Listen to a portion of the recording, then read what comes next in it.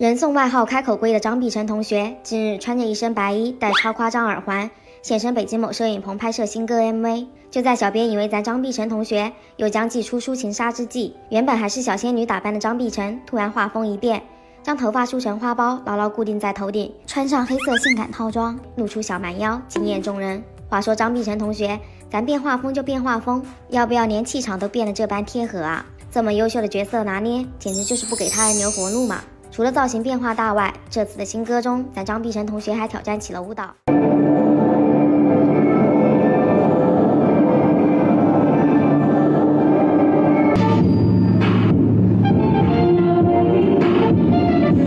瞧瞧这优越的节奏感跟高冷的表情，是咱们的女王大人没错了。